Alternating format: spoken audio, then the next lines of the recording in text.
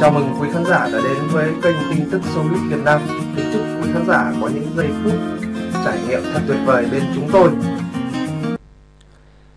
Khán giả gây tranh cãi vì phát hiện số đo hình thể và chiều cao của Hoa hậu Việt Nam Đỗ Thị Hà thay đổi bất thường chỉ sau một tháng. Số đo hình thể của tân Hoa hậu Việt Nam Đỗ Thị Hà đã có sự thay đổi rõ rệt ở vòng bán kết và chung kết.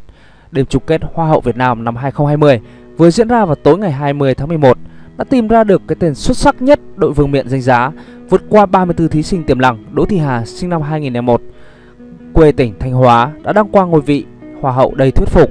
Có thể nói, ngay từ bé nhan sắc và vóc dáng của Đỗ Thị Hà vốn đã vô cùng nổi bật nhờ sở hữu vòng ba đầy đặn, vòng eo thon gọn nên mỗi lần khoe hình thể, Đỗ Thị Hà đều làm người hâm mộ suýt xòa và khen ngợi. Dù vậy, khán giả hiện tại đang tranh cãi về số đo của nàng hậu chia sẻ trước đó. Theo đó, ở vòng chung kết MC giới thiệu Hoa hậu Đỗ Thị Hà cao 1m75, số đo 3 vòng lần lượt 80, 60, 90. Thế nhưng, đối chiếu với loạt thông tin của ban tổ chức cung cấp ở vòng bán kết diễn ra cách đây một tháng, khán giả nhận ra rằng số đo của người đẹp này đã thay đổi rõ rệt.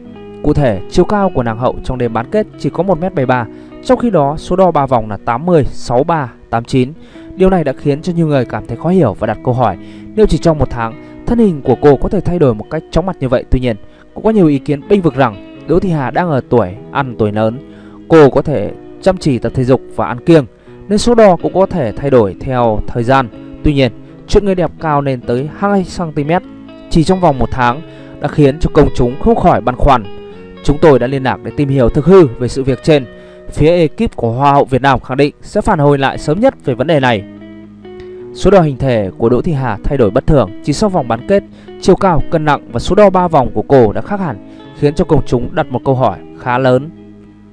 Trước đó, tân hoa hậu Đỗ Thị Hà cũng bị bóc phốt là body không được như mong đợi trong ảnh thực tế, thiếu đường cong cuốn hút. Cư dân mạng đang thắc mắc về số đo cơ thể thực tế của nàng hoa hậu Việt Nam năm 2020. Cảm ơn quý khán giả đã theo dõi video clip.